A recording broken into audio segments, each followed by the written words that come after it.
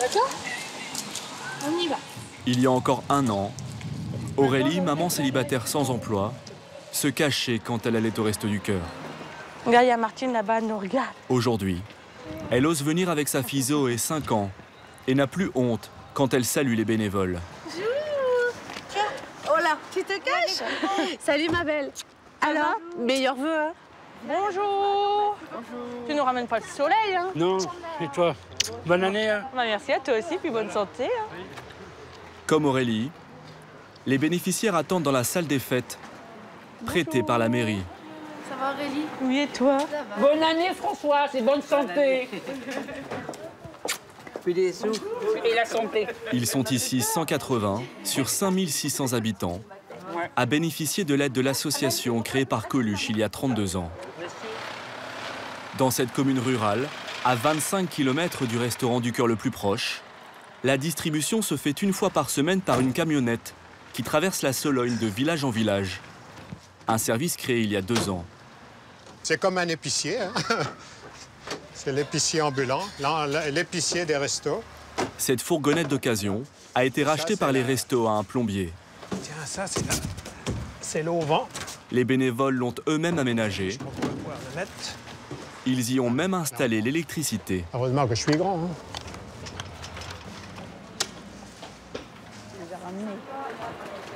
À 26 ans, Aurélie n'a jamais travaillé. Elle vit du RSA 480 euros par mois, plus 200 euros d'allocation pour Zoé. Les fins de mois sont forcément difficiles. J'ai quand même euh, les charges à payer, j'ai le loyer et tout.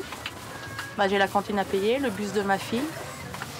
Alors, euh, à la fin du mois, il me reste pas grand-chose. Il vous reste combien à la fin du mois? À la fin du mois, il me reste même pas euh, 120 euros, même pas. Ça part vite. Alors, je suis bien contente d'avoir les restos du cœur aujourd'hui. hein. Du tout, ça vous dit? Oui. Et une soupe Ah, oui. Ah, voilà. Bien. Tiens, je vais te mettre ça là-bas. Comme tous les bénéficiaires, Aurélie se voit attribuer un nombre de points qui varie en fonction de la composition du foyer. Oui. Pour elle et sa petite, Aurélie a droit à 12 points par famille de produits. Accompagnement, dessert et viande. Qu'est-ce que vous voulez En viande? Steak haché, s'il vous plaît. Les barèmes sont fixés en fonction de la disponibilité des articles. Ah non, les non. Il y a du choix, pas de quoi faire la fine bouche non plus. Aurélie y trouve son compte. Je vais prendre des œufs. Et après, je vais prendre des légumes et tout le reste. Des œufs, des laitages, des légumes, peu de sucreries. Aurélie trouve ici la base pour une alimentation équilibrée. Merci beaucoup.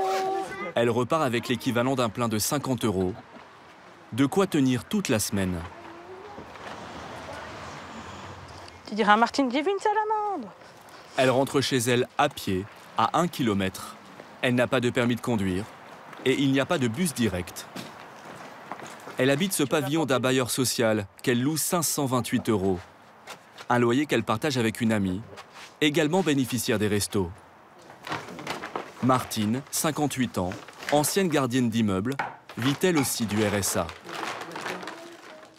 Des flageolets? Des flageolets, des salsifis, pour madame. du café cafetière. Des confections, on m'en a pas donné. Ils t'en ont pas donné? T'as demandé? Non, plus, non, plus. Martine et Aurélie habitaient le même immeuble. Toutes les deux célibataires, elles ont opté il y a dix mois pour cette colocation, pour ne plus avoir qu'un seul loyer à payer. Elles partagent tous les frais. Malgré leurs petits revenus, à deux, elles ont pu signer le bail de cette maison de 80 mètres carrés, avec jardin.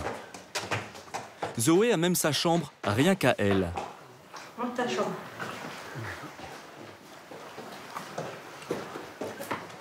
Elle est mieux. Puis elle peut faire ce qu'elle veut dans sa chambre. Elle peut, elle peut jouer, elle peut faire des dessins. Son petit coin, elle. Aurélie partage la garde avec le père de Zoé. Lui aussi au RSA, il ne peut verser aucune pension. Il y a un an, quand Aurélie a quitté son compagnon après des années d'errance commune entre alcool et drogue, seule Martine lui a tendu la main. Elle m'a sorti un peu de tout ce que j'ai vécu. Elle m'a sorti un peu euh, Du caca? De Comment dit? misère. La misère du caca. À partir du mauvais côté, hein, Ah, avec l'alcool, ouais. là, le, Le shit le shit et tout. et tout. Tu m'as dit, bah voilà quoi, t'as une petite fille et puis maintenant il faut remonter la pente quoi. T'as triché. Épaulée par son ami, Aurélie veut maintenant remettre sa vie en ordre. Ça va là. Pour moi, ma vie n'était pas faite comme ça normalement. Je voulais pas la construire comme ça, surtout pour ma fille. Je voulais pas, je voulais pas que qu'elle voie que j'aille les restos du cœur ou je voulais qu'elle aille- qu'elle voie que j'ai le tra- que j'ai un travail, que j'ai le permis. Mais en fait, compte, j'ai pas tout ça. Et je regrette de pas avoir avancé dans ma vie. C'est ça, Elsa. Non, elle est là. Non, Elsa, elle est là. Ça, c'est Anna. Ça, c'est Elsa. Mais il y a une lueur d'espoir. Titulaire d'un CAP vente, Aurélie vient de décrocher son tout premier emploi dans une charcuterie. Un contrat d'une semaine seulement. Mais c'est déjà un début. Je cite tout, pourquoi?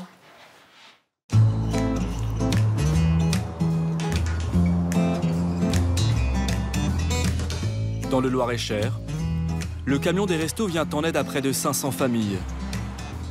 Pour trouver les denrées nécessaires, les bénévoles frappent à toutes les portes. Si les dons viennent généralement des supermarchés, ici dans la Beauce, les agriculteurs sont également mis à contribution.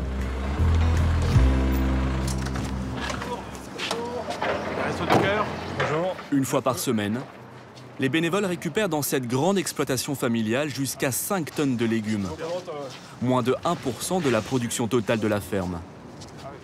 Là, en gros, il y a presque 500 kilos ici, à peu près pour vous. Et en oignon, il y a 400 kilos. Et 400 kilos aussi en, en potimarron. Ces produits sont invendables en grande surface, car ils ne correspondent pas aux standards. Ils sont trop petits ou trop gros. Il y a de, il y a de tout calibre. hein. Là, c'est une pomme de terre qui fait au moins 800 grammes.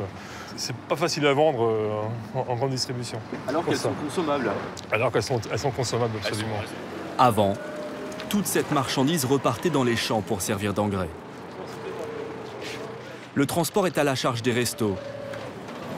L'agriculteur bénéficie en outre d'une réduction d'impôt de 66% de la valeur de ses dons.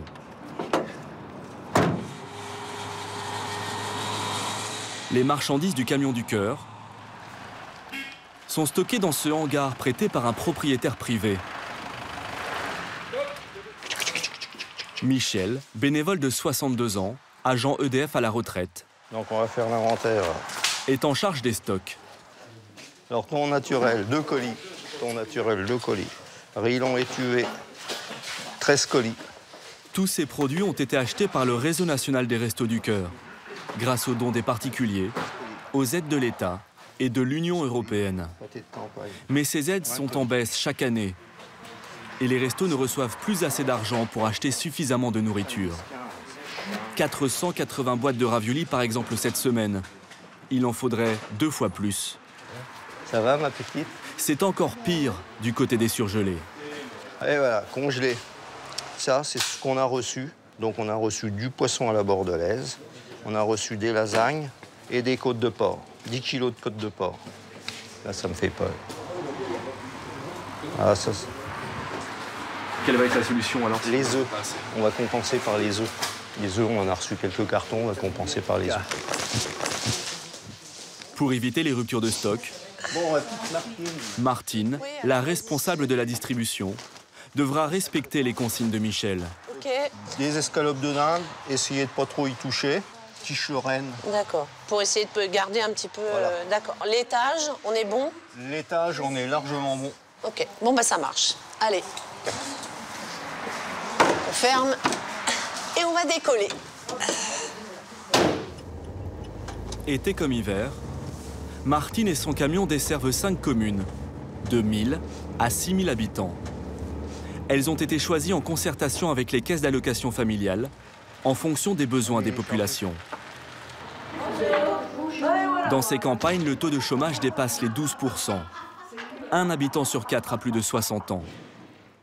Ici, la plupart des bénéficiaires n'ont pas de moyens de transport. Si le camion ne venait pas à eux, ils ne pourraient pas se rendre au resto. Des pommes. Je vous mets une chaise. À chaque étape, Martine accueille de nouveaux bénéficiaires. En deux ans, leur nombre a triplé grâce aux bouches à oreille. CJ, 21 ans, est enceinte de son deuxième enfant. Elle est venue avec sa fille et sa cousine. Pour qu'elle ait droit au resto, elle ne doit pas dépasser un barème de ressources, environ 680 euros par exemple pour une personne seule. Madame, d'accord. Donc on va mettre. Est-ce que votre euh, mari, enfin votre concubin travaille? Non. D'accord. Donc demandeur d'emploi et vous aussi? Demandeur d'emploi. Donc je vais mettre, par contre, on a un bébé qui arrive. Oui, voilà. Dans le cas de CJ, qui touche le RSA avec son compagnon, D'accord. le calcul est vite fait. Ah, euh, hein. Au niveau du barème, on est tout à fait, euh, tout à fait bon. hein. Donc on va pouvoir vous aider euh, cet hiver. Alors, CJ peut repartir avec sa nourriture et un colis gratuit pour le futur bébé. ça, c'est des couches. Numéro 2. Elle pourra bénéficier de l'aide des restos tout l'hiver, sans jamais avoir à justifier une quelconque recherche d'emploi. Merci. Est-ce que c'est pas un peu déresponsabiliser les gens que de leur fournir de la nourriture toutes les semaines, hiver comme été? Ah, là, c'est, je sais qu'il y a beaucoup de gens qui vont critiquer et qui vont dire euh, que c'est pas un service à rendre. C'est ça, peut-être que vous voulez. Voilà, c'est pas un service à leur rendre. Je vois pas en quoi euh, tendre la main à quelqu'un, ce serait pas un service à lui rendre. Les bénéficiaires restent en moyenne deux ans au Resto du Cœur. Certains n'auraient jamais pensé avoir un jour besoin de demander à manger. Du poisson, vous aimez Euh, le poisson et poulet, oui. da- euh, poisson et Florence, 54 ans, ne travaille plus depuis que son mari est tombé gravement malade il y a deux ans. Oui, s'il vous plaît, j'ai amené ma... Il gagnait jusqu'à 2000 euros par mois. Merci, je l'ai récupéré. Ils vivent maintenant avec 814 euros d'allocation. Merci. Bonne fête. La semaine prochaine. Au revoir à vous. Merci. Ils étaient commerçants ambulants sur les marchés. De cette époque où ils vivaient bien, ils n'ont gardé que cette berline. Ils habitent un camion frigorifique qu'ils ont transformé en mobil-home il y a 30 ans. À l'époque, c'était un logement pour leurs vacances. Les petites courses de la semaine. Ils n'ont plus les moyens d'acheter une vraie maison en dur pour leurs vieux jours, comme ils en rêvaient. Mon petit chat. Tu m'attends Noël, 60 ans, souffre de la DFT, une dégénérescence très rare du cerveau Non, je suis bien chez moi. qui provoque apathie et troubles de la mémoire. Pour qu'ils puissent manger à leur faim, Florence est résolue il y a deux mois à accepter l'aide des restos. Le porc, le poisson. Quand est-ce que vous avez décidé à, à pousser la porte des restos? C'est pas moi qui l'ai poussé, ce sont les restos qui sont venus à moi. On les a alertés sur votre situation? Oui. Qui ça? À la pharmacie. Parce que j'allais chercher des médicaments et j'avais besoin de certaines choses pour le confort de mon mari. Et je pouvais pas lui offrir. Donc j'ai dit, je vis avec, avec 800 euros, je ne peux pas. Donc euh, un beau jour, elle m'a dit, je peux donner ton numéro de téléphone J'ai dit, si tu veux. Et il y a une dame, Dominique, qui m'a appelé les Restos du Cœur. On a fait un dossier et je passais dedans. J'aurais pas été si elle m'avait pas appelé. Alors que vous en avez besoin? Et alors? Il y a encore euh, deux mois, quand vous n'alliez pas au Resto du Cœur, vous faisiez comment? Eh ben, j'ai un sanglier qu'on m'a donné. Un sanglier complet. J'ai appris à tailler la viande. Et puis après, il y avait la saison des courgettes et des haricots verts. Tu aimes les courgettes, mon amour? Non, T'en peux plus? Ah, j'en ai marre du courgette. Parce qu'au mois de septembre, eh ben, croyez-moi qu'on en a mangé de la courgette. Aujourd'hui, On attaque. Florence ne peut plus chercher du travail. Elle doit stimuler son mari en permanence en lui faisant faire des devoirs enfantins, J'en ai fait des nouveaux hier soir. comme reconnaître prénoms masculins et féminins. On met le rouge pour les féminins Oui, et on met le vert pour les le masculins. masculin. Vincent, Emma, Emma, tu trouves que ça fait un nom de de- d'homme? C'est féminin, Emma. Ah ben oui, mais on est dans les masculins. Bien, euh, Ah voilà. Noël ne veut plus rien faire d'autre. Pour aller se promener Marcher avec le temps qu'il fait, euh, c'est pas terrible. et jardiner. Jardiner, encore moins. Pourtant, t'aimais ça. Avant, oui. Avant. Mais tout était avant. Tout revient sur avant. Florence ne cuisine que ce que lui donnent les restos. J'ai pas de pommes de terre, donc on va manger que ça. Mais avec ça, je fais deux repas. et ce qu'elle récupère à droite à gauche. La dinde de Noël donnée par la famille. faire une cuisse. Oui. Voilà, couper en deux. Florence n'a avoué que récemment à ses quatre enfants qu'elle allait au resto.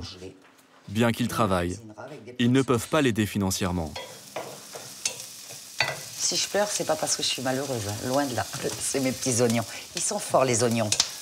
Les oignons à Coluche, ils sont extra. D'ailleurs, je parle jamais des restos du cœur. Moi, c'est toujours je vais voir Coluche.